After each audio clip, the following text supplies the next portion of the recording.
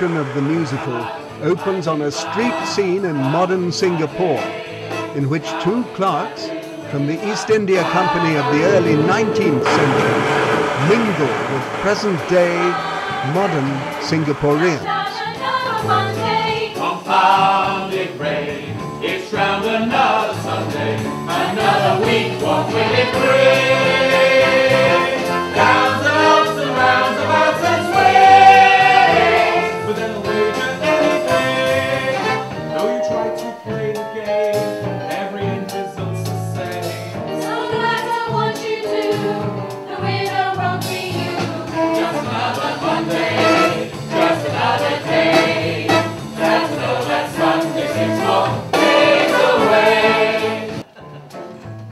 Within the head office of the East India Company in Leadenhall Street, the life of a clerk is drab. Eyebrows rise in a wild surprise if any new style shows. No one dares to In spite of his naturally fear of what rebellious nature.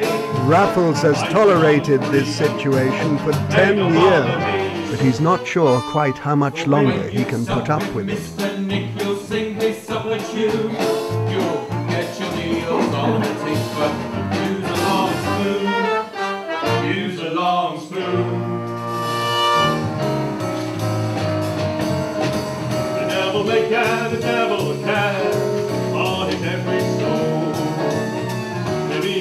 Time, but there's enough time, how things to go.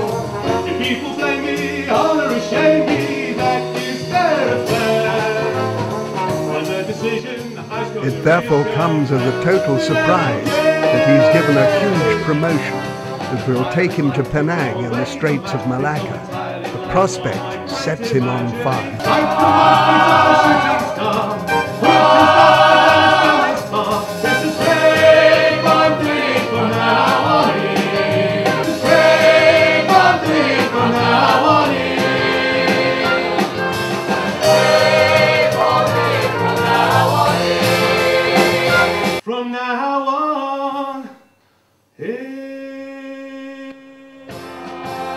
Promotion does, however, mean that he will now be able to afford to marry his sweetheart, Olivia.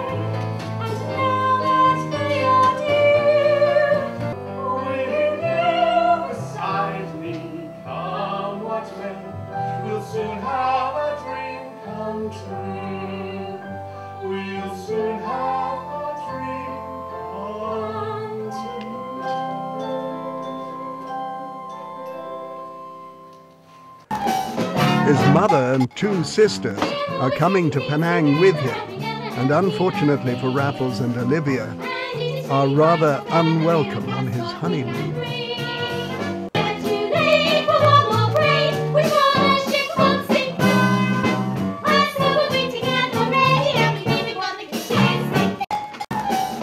Five years later, Raffles visits Malacca with its incompetent resident Farquhar and drunken military commander Gillespie. A you saw when chaos all around, with people trembling in the ship or prostrate on the ground. This keeps you so when the floodgates opening oh so wide, ever faster bring disaster, leaving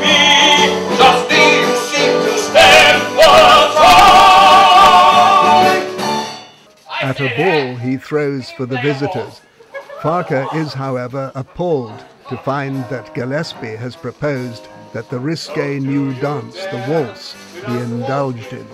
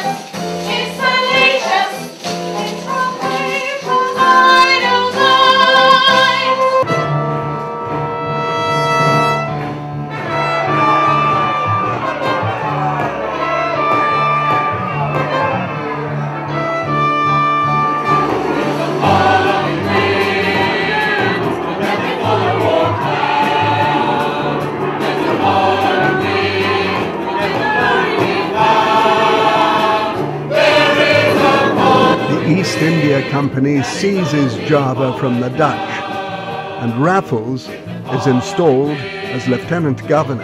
But Farquhar has plotted against him by sending secret charges back to the court of the East India Company in London.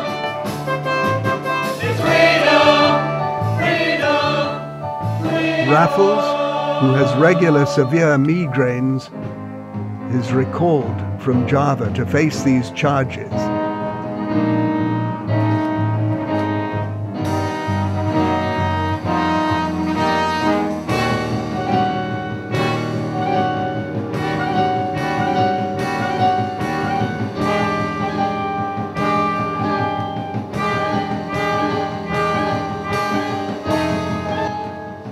Raffles sees himself thrown down from his position as Lieutenant Governor by Farquhar and his treacherous manservant Blaygrave.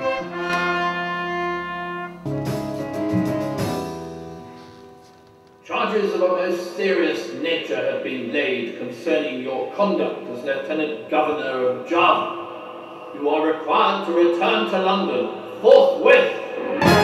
Raffles's health collapses, and Act One closes with his disgrace.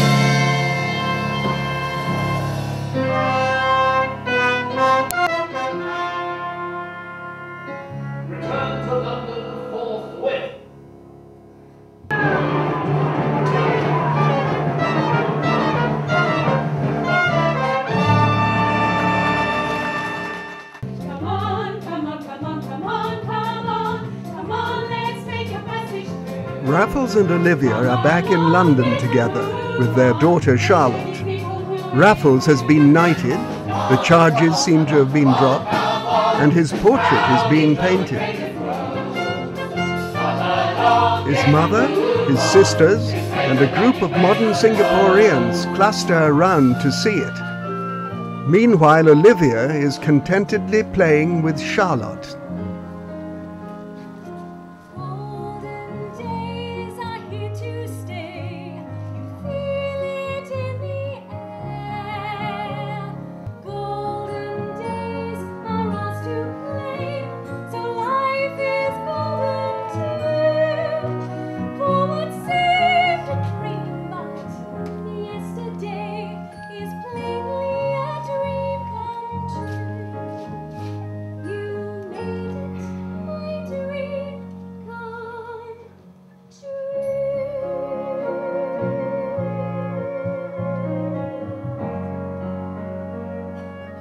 Raffles tells Olivia that he will return to the Far East as Lieutenant Governor of Bencoolen.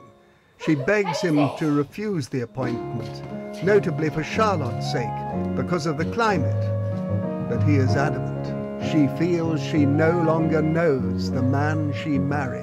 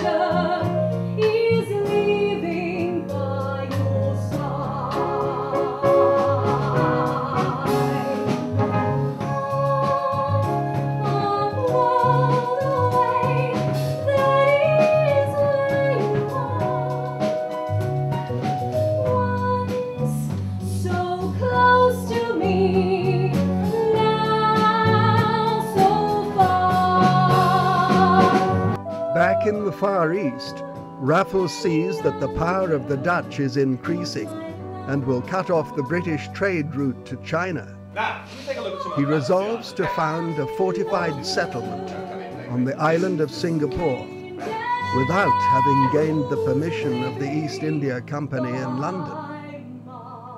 Farquhar and Blaygrave resolve to delay him. The method they light upon is to make him ill by putting small quantities of poison into his drinking water. But the founding of Singapore goes ahead nonetheless.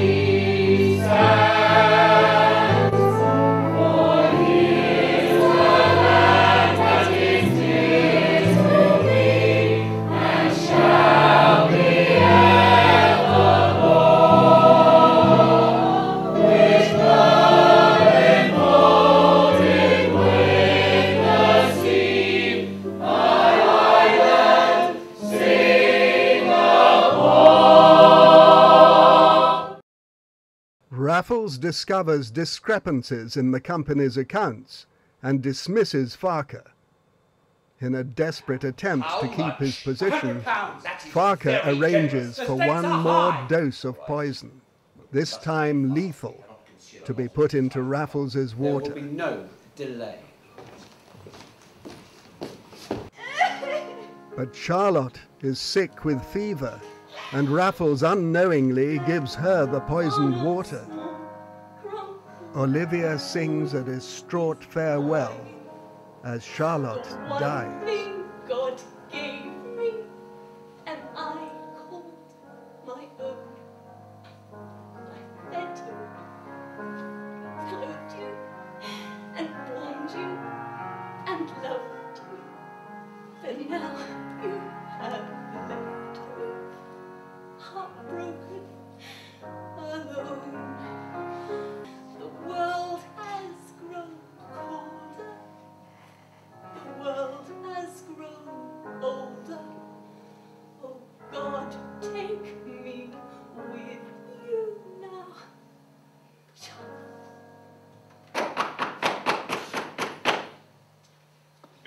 Doctor,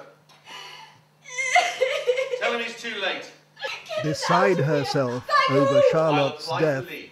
Olivia demands that Raffles resign from the company. I can't. My work isn't finished.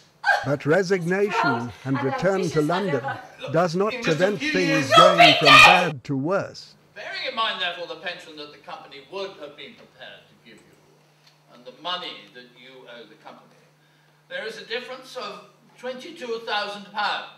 You realise that the debt is payable on demand. Payable on demand. Payable Raffles is almost broken in spirit.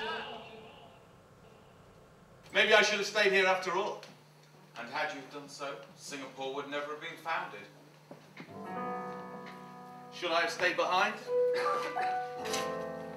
well, should I? Was it all worthwhile? The pain, the sorrow. But there was somewhere way out there I saw in my mind a light that led me way out there, but left me blind.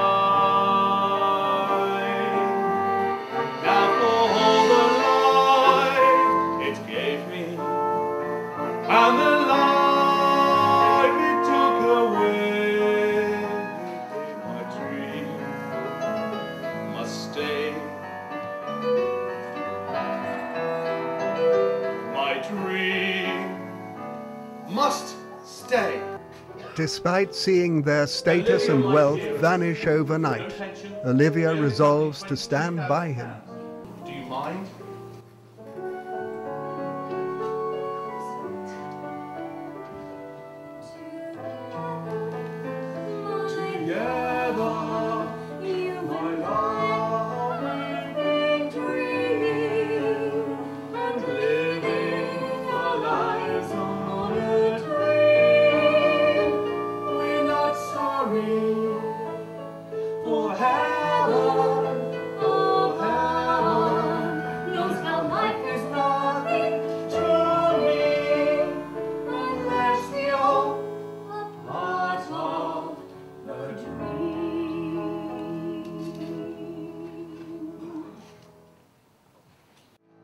The epilogue ties up the loose ends of history.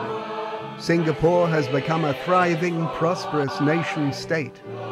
Raffles's brave far-sightedness in founding Singapore is recognized, and we see his statue high and prominent in front of the Victoria Theatre as the company sings the anthem, Singapore.